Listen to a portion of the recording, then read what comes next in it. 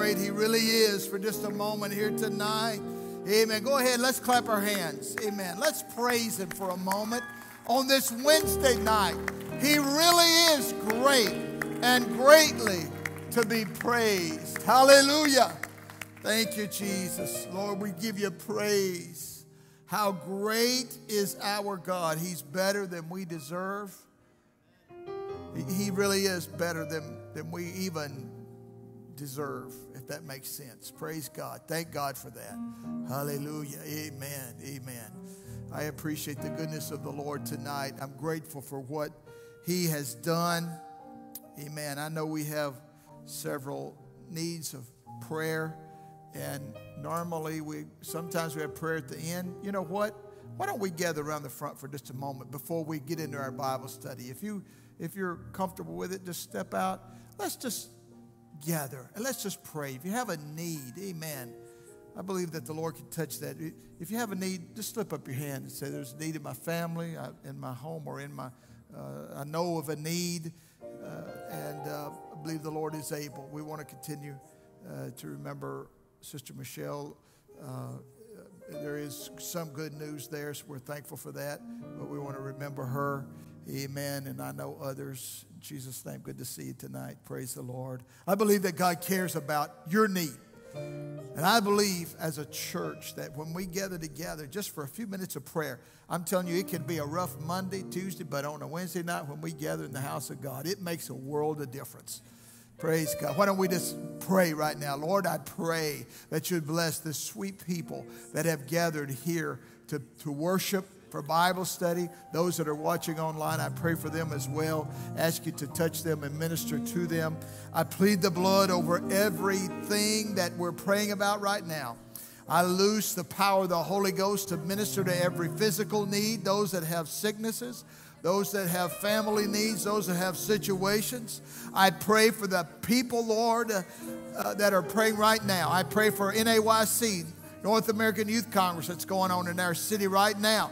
I pray, Lord, for our young people that are there. I pray that those that are gathering from all around the world, Lord, would feel the power of the Holy Ghost and that we would feel the ripple effects here in our church and in our community. I pray, Lord, that you would bless Solid Rock Church tonight, that you would minister to every family, that you would touch every heart. Bless our community, Lord, as we reach out.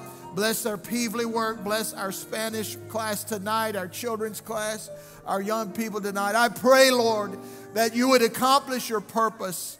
Minister to us tonight, we pray. We love you. We worship you. We thank you. We give you glory. We give you praise in the name, above every name, the name of Jesus. Oh, let's clap our hands and thank him. Hallelujah. Amen. Amen. Praise God. Praise God. In Jesus' name. Amen. Thank you for stepping out and coming up. God bless you. Shake a few hands as you're on your way back to your seat. I appreciate you so much. Thank you. It's good to see see you guys tonight. God richly bless you. We appreciate you being in the house of the Lord. Praise God. Good to see Sister Melissa tonight. Bless you. I want to just mention uh, a few things. We are this this coming Sunday. We're having Roca Firme, three o'clock, our Sunday worship, and we're excited about that. The following week, first Sunday of August, is our other Sunday, but also we're having an open leadership meeting. Anyone that would just like to be a better leader, you're welcome. I want to mention. Uh, I know we uh, did bring our junior quizzers up Sunday and and briefly uh, told what they did, had their trophy. We still have the trophy. We got, we're going to have to build a bigger case, a case. Uh, but of course, our coach, not everybody was here. Sister Teresa uh, was with our intermediate senior team uh, with, with the uh, senior quizzing, which is, of course, Marissa. We're partnering with uh, Stevie, the church there in Lebanon, and uh, they they won. They, they, they won and then they lost. They, they didn't get as far as they wanted, but I'll tell you what, they did amazing. And I am so grateful for Marissa. We're proud of her. She's, I know, up at NAYC right now. But we're so grateful that they're there and that they're learning the Word of God and that uh, uh, she's just an amazing young lady. We're grateful for them. Uh, and I appreciate Sister Teresa for, uh, for overseeing this ministry and everybody that helps with that. It's just amazing. Amen. And I'm grateful. Praise the Lord. Amen. Let me read the Bible and then you can be seated. That's kind of how we do it. You ready? I'm going to read from Philippians chapter 2 and uh, beginning at verse number 5. Amen. Remember, be sure to shake Logan's hand tonight, hug him, and tell him you love him, appreciate him. We'll, we'll probably see him around here or there, but uh, tonight's his last official night. So there is a little basket out there if you want to drop a little card in there. And if you didn't get to do that this week, you can bring it, bring it to the church. I'll get it to him. Amen. Philippians chapter 2, verse number 5. Let this mind be in you, which was also in Christ Jesus, who, being in the form of God, thought it not robbery to be equal with God, but made himself of no reputation, and took upon him the form of a servant, and was made in the likeness of men. And being found in fashion as a man, he humbled himself and became obedient unto death, even the death of the cross. I feel to talk to us tonight about a subject that is, it, encompasses a lot, but I'm going to try to narrow it down to some thoughts I feel like the Lord gave me tonight. I want to talk to you about humility. Humility. Amen.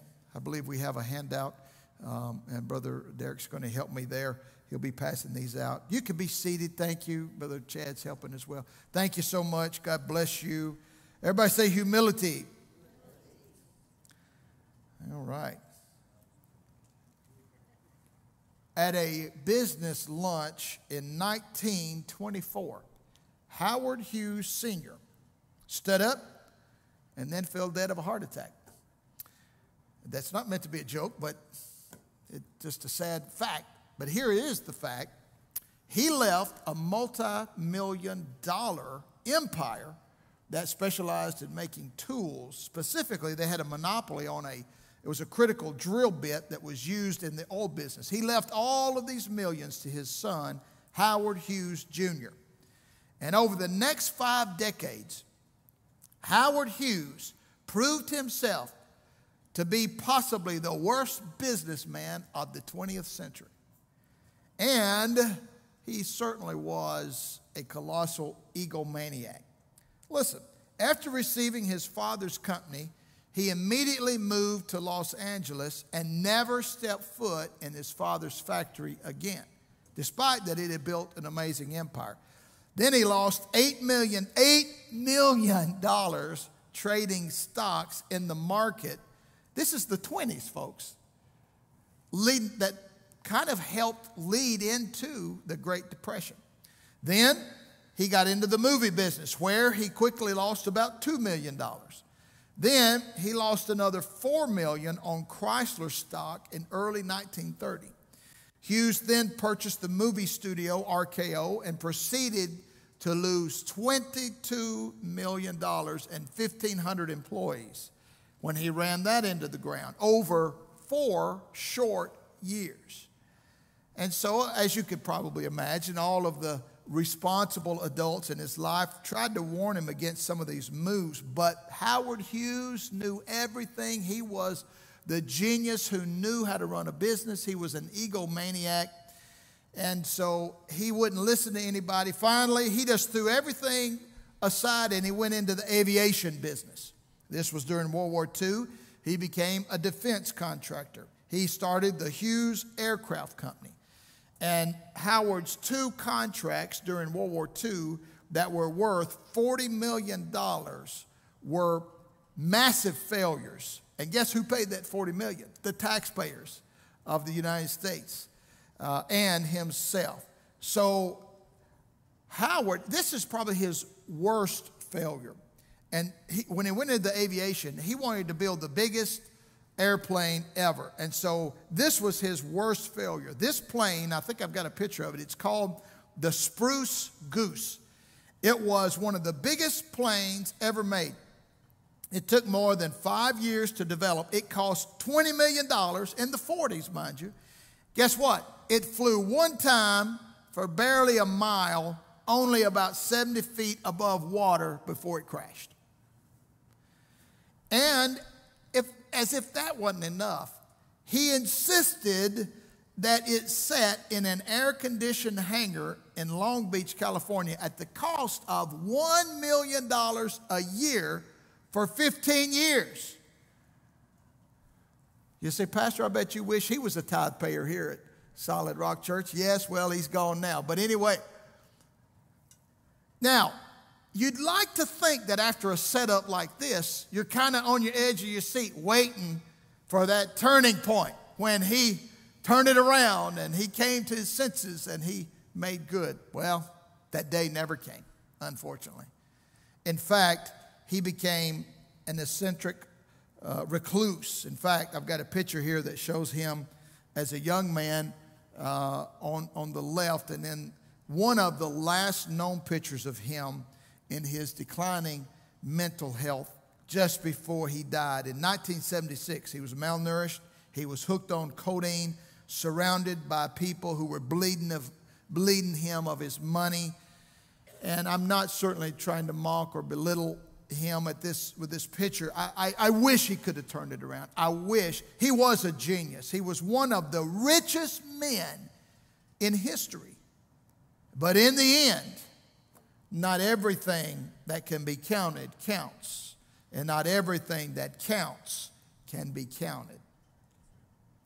Howard Hughes suffered from pride, arrogance, a massive ego that he would not listen to anyone. He knew it all. And so, guess what? That pride, the Bible says that pride goeth before destruction, haughty spirit before a fall. Pride would not allow him to admit his mistakes and change direction. It's a very sad story. Let me give you another one. Anybody remember Beanie Babies? Yeah. We had some. We had some for our kid. I got a picture of those too. Look at there. You see that little tag on there called Ty? That stands for Ty Warner, who was the creative and marketing genius behind the Beanie Babies. And everything was going great. But at the peak of their popularity, Warner decided to discontinue selling Beanie Babies and to start selling Beanie Kids instead. Everybody told him this was a bad idea. But he, they said, look, those toys are ugly. You're making a big mistake. But he was another egomaniac, and they feared his wrath. Most employees stopped challenging him. And, you know, he would often say, when somebody would try to talk sense to him, he'd say, listen, who's the billionaire here? That kind of thing. On the eve of the launch, one trusted advisor stood up to him predicting failure to this new product. Ty's response was this I could put Ty's heart on manure and they'd buy it. Well, guess what? They didn't bite. And that same behavior that propelled Ty Warner to massive success now propelled him right out of it. He was just too hard headed to listen to anybody else. In fact, he just barely escaped going to jail a few years later. Let me show you another picture. Anybody remember this car that's popping up there with those cool, cool doors? You met, oh, ah, somebody said it. What is it? DeLorean. Exactly. Made famous by a little movie that was called Back to the Future. And, uh, but its namesake is John DeLorean. He was a brilliant designer. He was an amazing engineer. But no amount of brilliance could compensate for DeLorean's massive ego, which destroyed him. He had in his home, he had it filled with mirrors so that he could just see himself anywhere that he went. He had extensive facial surgery. It was, in fact, his ego and his instability to work with anybody else that drove him out of General Motors. He was one of their top executives at one time, but nobody could work with him. DeLorean seemed to be convinced that marketing would be all it would take to beat the biggest car company in the world, which is why he wasn't too concerned with making cars that actually worked. The, the DeLorean actually really worked only in the movies, to tell you the truth. It had a lot of issues, had a lot of problems. Did he acknowledge it? No. His ego wouldn't let him. Instead, he just put into motion a series of events that would end in a $60 million drug deal and his subsequent arrest. Just sharing a few stories here about folks who seemingly had it all, millionaires, but they were destroyed by ego, pride. Amen. I'm telling you, it'll destroy anybody. You can't make enough money. In fact, it almost adds to the issue because we think, boy, it's all, look at what we're doing and so forth. I know preachers that have gotten in trouble with an ego. I know good saints of God that have let pride destroy them. Ego is an unhealthy belief in your own importance. Arrogance, sometimes it's called. It's a it's self-centered ambition. Ego is the enemy of what you want. It repulses advantages and opportunities. It's a magnet for enemies and errors. I saw Brother uh, Neil Gwynn's dad and other grandfather. We normally see the, the one here, but the other grandfather's here. And uh, so they're, they're in the Spanish class right now. But one Spanish brother said this My ego is not my amigo. And that is true. Amigo means friend. Your ego is not your amigo. And think about the world we're in now. I'm telling you, our culture fans the flame of ego and self absorption more than ever. Look at our political landscape. Look at our, just look at Facebook for a few minutes. It's never been easier to puff ourselves up. And, you know, we, and, and here's, this is actual scientific fact. When you post something and someone likes it, science has proven that we get a dopamine hit from that, and it's literally like a drug. And so, guess what? Some people overdose. so, but that's the world we're in.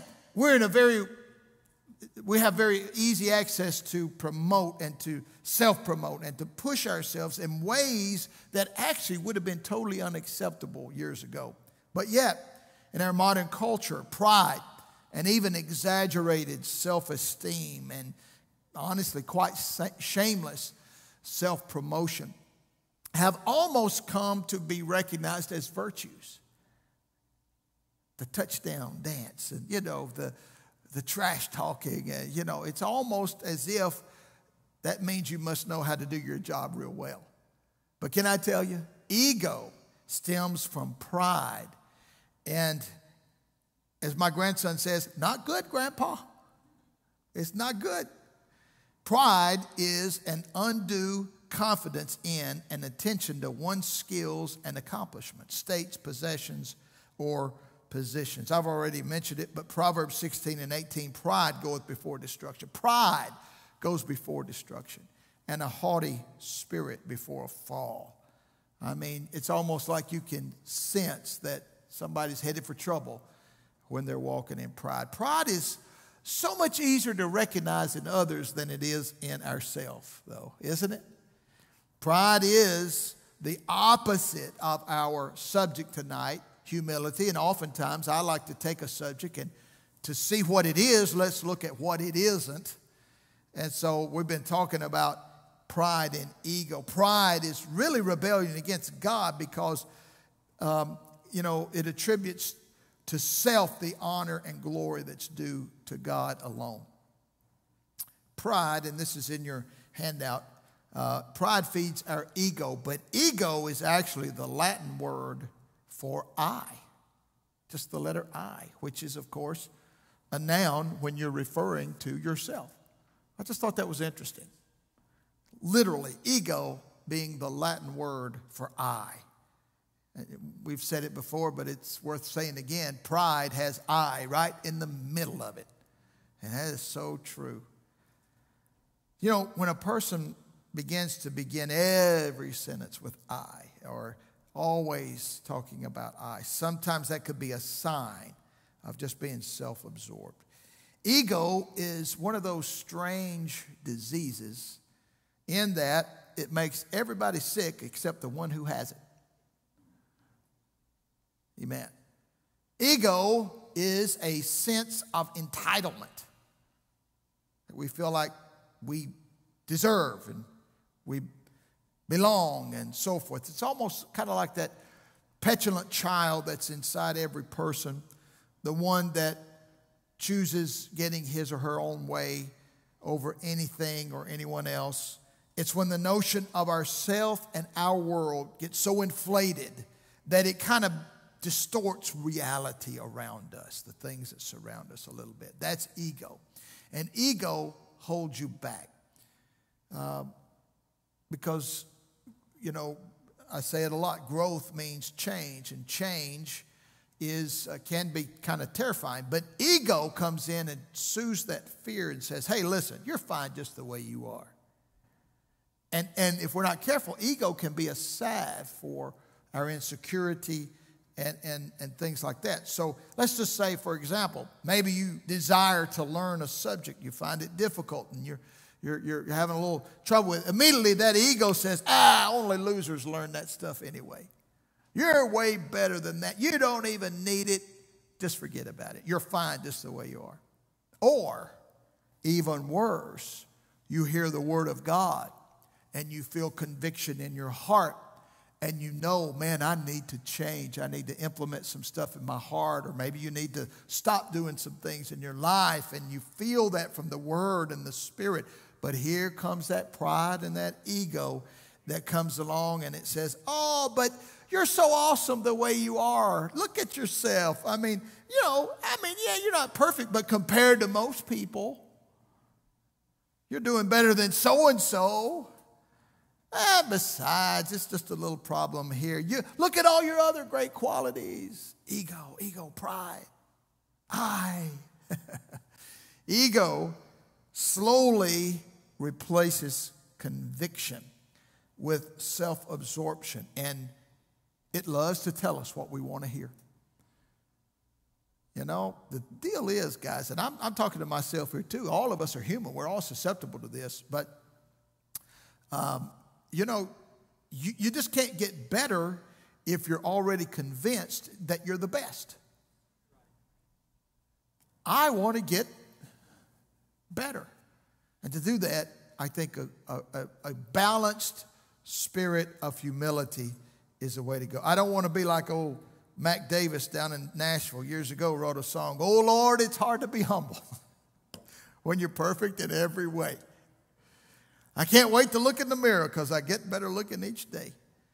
To know me is to love me. And I have to clean this up a little. I must be a really good man. Oh Lord, it's hard to be humble, but I'm doing the best that I can. Oh my. Now, we don't sing that necessarily, although I just did on live stream to the whole world in the pulpit. But uh, sometimes we have that attitude deep down. We don't say it, but we kind of do. well, humility is the opposite of ego. If ego is a sense of entitlement, and I believe it is, then humil- humility it would be the opposite of a sense of entitlement, but a sense of I really don't deserve it, but I'm so thankful that I have anything in my life. And, you know, and let me toss this out. A good leader should display a mixture of personal humility and indomitable will. And there has to be a balance. Sometimes you need to be strong. And it, someone said you got to have a balance of velvet and steel, and you got to know when to use each. I'll tell you what helps us. Um, let's take a look at Jesus. That usually helps us with about anything, right? His great example. He, and I think when you look at his life, you realize he was about serving others and, and ministering to others and giving himself literally to others. And if there's one place that entitlement should not be seen, it's in the church. Our text said that Jesus came to serve. He did not come to be served, but he came to serve and to give his life a ransom for many. So, uh, putting others should be a priority for us. And so, uh, now let me just share a little bit about humility, maybe a little bit of what I think it is. I think humility could be, if you had to say it in one word, I would use the word meekness. Not weakness, meekness. Let me tell you about the word meek. It's got an interesting background.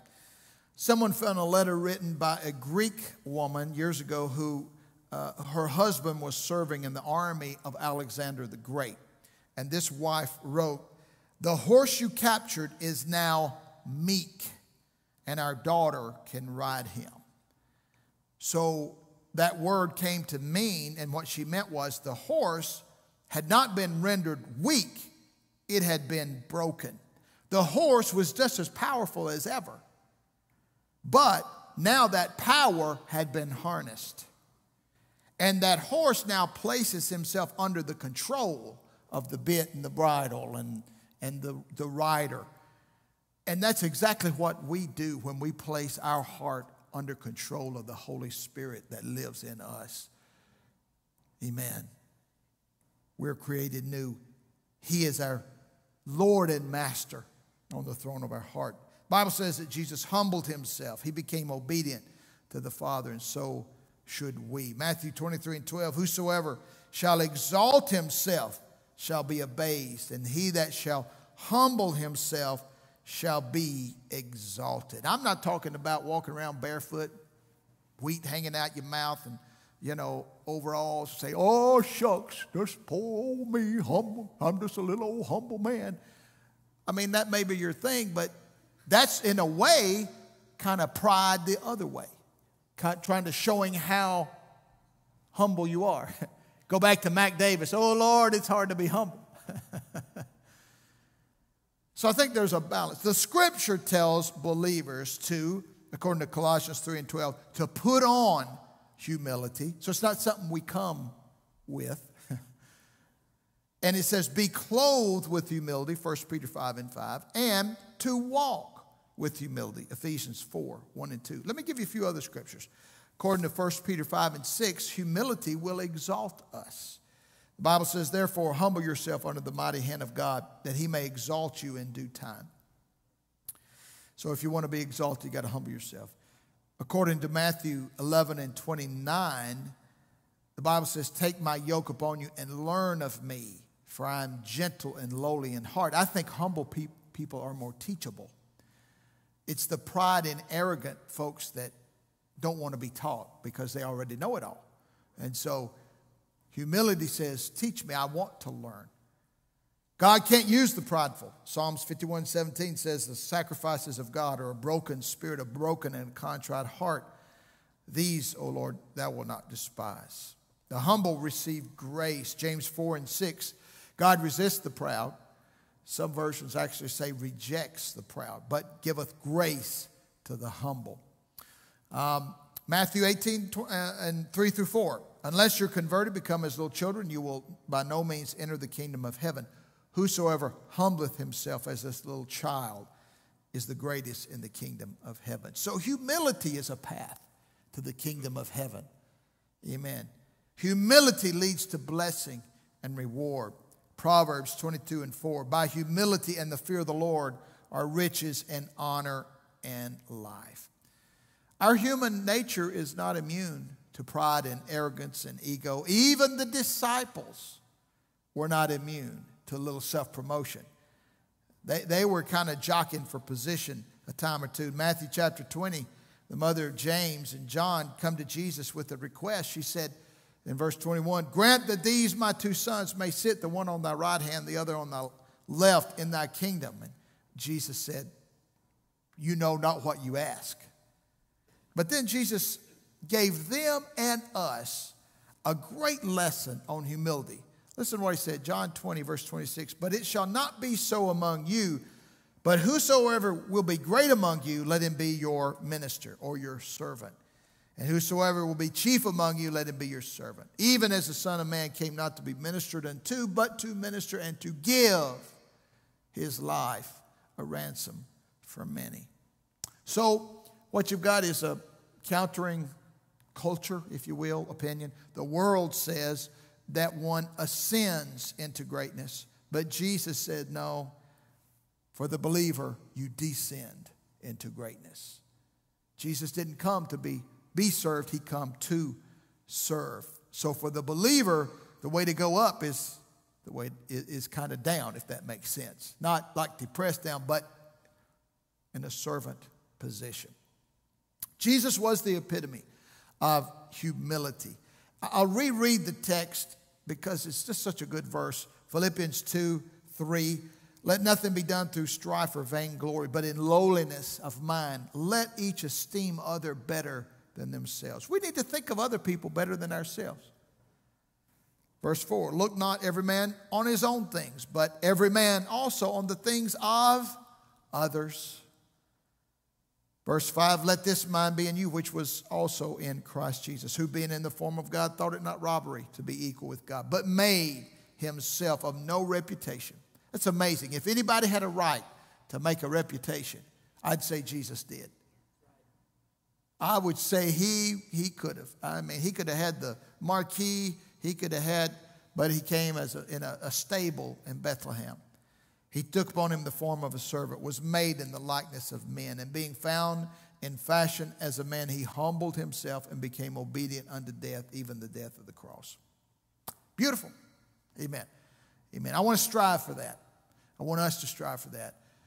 Amen. We, we want to combat the, the feeling of the world that wants to exalt and, uh, you know, uh, show how perfect that we are and hide every fault and all of that. I just want to be honest before God and be vulnerable for God and, and, and, and not let pride dwell up in my heart and my spirit because I'm telling you, it'll destroy the best of us. Amen. So let me give you a few tips, if you will, uh, how to combat this thing that we all fight. We, we do, one degree or another were affected by it. So let me give you some tips for uh, combating pride and how to stay humble. You ready? It's in your handout. Number one, be thankful. Just be thankful. That's the opposite of being entitled. I really think the first step on the road to humility is to remember where we came from. And that means, but for the grace of God, there go I. Let me tell you, that's the key to worship. That's the key to every uh, advancement in the Spirit in your life is simply to be grateful for what the Lord has done in our lives because none of us deserve it. You know what you said, what you did, who you used to be. So do I. I mean, I know who I was. Amen. Let me make that clear. Some of you I know. But I'll tell you this thank God for His grace. There's nothing more powerful. I'm telling you, if you will be thankful, that will fight pride and ego in your life like nothing else. It's just when you, by the time you think that you've really accomplished something, that you've really done something, and we should take pride in our work. We should have a balance of, of you understand what I'm saying? But if we're not careful, that, that old enemy will exalt our thinking about ourselves and, and uh, we got to remember, we didn't get to where we are by ourselves. That old saying, a, a, turtle didn't get on a fence post by itself, it's true. And, and you didn't get to where you are by yourself. Maybe you got a great job. Well, guess what? The Lord gave you a brain to be able to learn, to be able to accomplish what you, you, you had. Maybe the Lord gave you a, a home that was stable and with love and provided and, and gave you clothes and a shelter and food so that you, you, you see what I'm saying? We all owe somebody something. We don't really deserve it. And, and we just need to keep a spirit of thanks, thanksgiving, a spirit, you know, Thanksgiving. I can't believe we're here at the end of July. I'll be turning around and it'll be Thanksgiving right around the corner. And, and so, but it, it, we really need that spirit of thanksgiving year round. I think thanksgiving and thankfulness is the foundation for humility. And that is true. Thankfulness is the foundation for humility. Number two, we need to see ourselves accurately. So, when I say accurately, that means don't be self deceived. We shouldn't look at ourselves lower than we should. We shouldn't put ourselves down and belittle ourselves, uh, you know, and, and have condemnation However, we definitely should not think higher of ourselves than we should. Humility is not self hatred, nor is it a lack of self confidence. Amen. You know, you, could say, compared to the worst people in history, it's easy to think highly of ourselves. You could, you know, if you wanted to do that, you could say, well, you know, I'm not Adolf Hitler. I mean, you know, you could, you could, you could pick somebody. I'm not Saddam Hussein. I mean, you could pick, I almost called one of y'all, but I won't. I'm just kidding. I would just be kidding. I mean, you could say, I'm not, and, and comparison, but we're not supposed to compare this way. We're supposed to compare this way. And I'll tell you how you compare is the Word of God. Now, I may be looking at an electronic Bible, but it's the Bible just the same. Amen. We need to compare ourselves from the mirror of the Word of God. And when we compare ourselves to God's standard, which is perfection, guess what?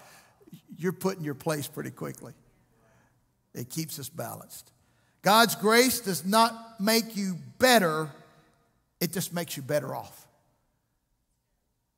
You, you make yourself better because you have the potential to be better because of the grace of God. C.S. Lewis, it's been attributed to him, who first said, Humility is not thinking less of yourself, but thinking of yourself less. One of the best quotes in my mind ever is that one right there. I should have said I said it, but I didn't. Humility is not thinking less of yourself, but thinking of yourself less. Amen. It's a balance. Number three, just stay prayed up. just listen to this old country boy Pentecostal pastor. Just stay prayed up. Just pray. Just incorporate prayer, consistent prayer into your life, and it will help you combat arrogance, pride, and ego, and it'll help us to stay humble. Amen. We don't, it, will combat self deception. Amen. And uh, when you keep the fire of God on the altar. I read about a young seminary graduate that drove up in his new Cadillac. I don't know why all preachers are supposed to drive Cadillacs, but anyway, apparently that was the deal years ago. So this young man, he was a seminary graduate. He was driving up in his new Cadillac and he walked into that church. He was self confident. He was immaculately dressed and he began to deliver. He stepped up to that pulpit after a fine introduction and he went to his text and he started to open his mouth to deliver that first sermon in that church and he froze. And the words just wouldn't come. Finally, he didn't know what to do. He just burst into tears, ended up leaving the platform and left in humiliation. One old saint of God, two ladies sitting on the front row, one turned to the other and said, Well, if he'd have come in like he went out, he would have gone out like he came in. That's pretty good, sis. That's pretty good. Amen. If we would cry and sacrifice and pray rather than exalt ourselves, the Lord will exalt you. I think it was Benjamin Franklin said, a whale only gets harpooned when he jumps up to spout off. Truth. Amen. number four. Number four. Get out of your own head. Get out of your own head. Now, what are you talking about? Well, Plato spoke of the type of people who are guilty of feasting on their own thoughts. If you only listen to yourself, you're in trouble. Paul said to cast down imagination. You know why? Things in your ego and pride live in your head. And so it's easy for people to imagine the successful meeting in your head. Imagine the crowds that part as we pass by. Imagine that we're fearless warriors on our way to the top. It, it's, it, it, we can just see the opening credits, and there's our name, you know, in the opening montage. It's a, we, you know, we see a scene in a novel, and it feels so good, so much better than those feelings of doubt and fear and normalness. And so we stay stuck inside our heads thinking of those wonderful thoughts rather than participating in the world around us. And I think it's even more common now in our um, electronic world. Amen. And so we got to get out of our head. We got to get into reality, if that makes sense. Let me tell you a, quick story about compare two generals during the Civil War. George McClellan was one of the worst Union generals in history, despite being at the top of his West Point class. He was tall and handsome, he was from good stock, but he never could get out of his own head. He was in love with the vision of himself at the head of the army of the Republic. And he did have talent to prepare an army for battle. He could do that like a professional. He could order supplies. He could equip an army, all of that stuff. He could do the drills. But when it come to leading in battle, where the rubber meets the road, that's where trouble arose for McClellan. McClellan was constantly thinking about himself and how wonderful he was doing and how great he was going to be. And he was constantly congratulating himself for victories not yet won and horrible defeats that he had saved his army from. But guess what? Lincoln had to eventually fire him because he never fought a battle. He was just fighting them up in his own head, lost in his thoughts, thinking of all this grand grandeur that he was going to accomplish. But he never fought a battle.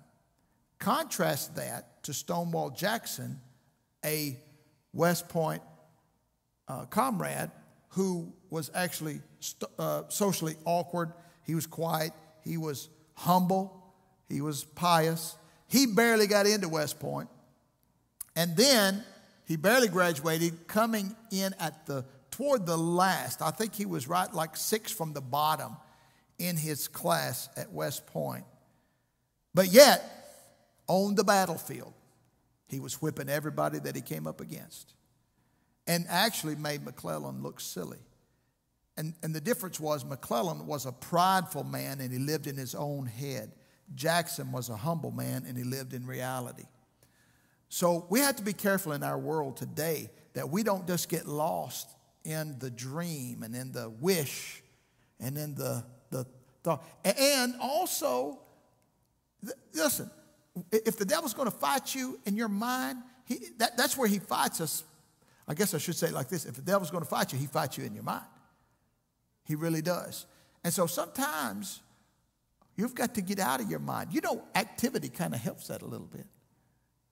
And, and maybe staying, you know, doing something. Even if you're, you know, uh, not active, but keep your mind active look into the Word of God, read, and do some things that, that you don't just sit there and look at a screen or lost in thought. Does that make any sense? I, I kind of feel like it matters in our life. Amen. All right, I hope that makes sense. Number five, this is the last one. We've talked about, I'm going to review them. Here you go. We ready? Be thankful, see ourselves accurately, stay prayed up, get out of your own head. Paul said like this casting down imaginations, every high thing, bring thoughts into subjection to Christ. And then my last one here do the work. Do the work. We can talk about ourselves or we can work on ourselves. Many valuable endeavors we undertake are difficult. It could be mastering a craft, it could be mastering ourselves. But the deal is, talky talky is easy, but worky worky is what gets it done. A great theologian in Nashville wrote a song. I won't even say it. But there is something about actually doing the work. Amen. Now, you know, for a person who really struggles with ego, one of the worst things for them is to be ignored that, that's almost like tantamount to death for, for anyone's ego, you know, is to be ignored. And, and so, what we can do and sometimes do to fight that is we, you know, ooh, ooh, ooh teacher, we, we post, we, uh, you know, we talk, we express, and we think and we say big ideas. And I'm not against dreaming, I understand disclaimer, disclaimer, there's a balance to all of this. We need to dream. We need to think and pray, all of those things. But, but at the same hand, sometimes we can express and post and do all of that and talk in order to soothe the ego. Because anyone can talk about himself or, or, or herself, but what is more rare is, is the silence, the ability to deliberately keep yourself out of a conversation and maybe survive without validation or affirmation. Someone said, silence is the respite of the mature. Amen. I think it was Abraham Lincoln said, better to keep silent and have people think you're a fool than to open your mouth and prove beyond all doubt, or something like that. And it's true. Bo Jackson, some of you will know who he is. He was a famous football player at Auburn years ago, played baseball too. Kind of became popular back in the day with commercials. Bo knows. Bo Jackson decided when he was in school that he had two things that he wanted to accomplish as an athlete at Auburn. He wanted to win the Heisman Trophy, and he wanted to be taken first in the NFL draft. Guess what? He did both of those. Pretty amazing. You know who he told? He told one person his girlfriend. That is rare in today's world. That is a rarity. Most people be telling everybody, right? I think it's better to do than to say. Because if you say and you don't do, you ain't got nothing, you're kind of in a pickle. But if you don't say and maybe you don't make it, well, it might be a little easier. Amen. Um, the poet Hesiod was an ancient Greek poet. He had this in mind when he said, A man's best treasure is a thrifty tongue. My point is, talk is easier, doing is harder. Talk depletes us, doing builds us.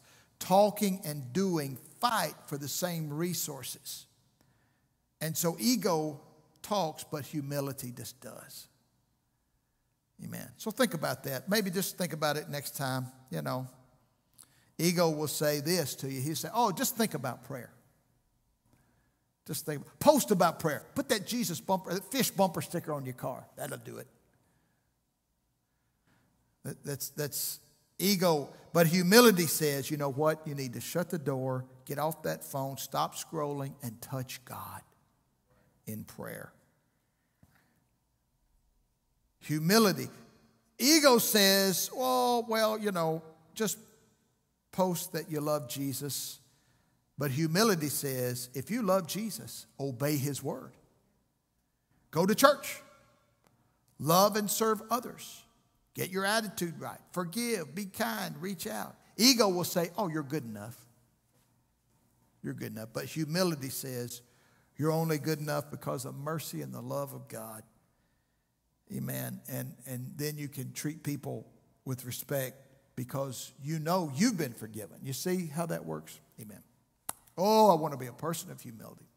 Again, humility is not thinking less of yourself, just thinking of yourself less. It's not thinking of you, it's a balance. Amen.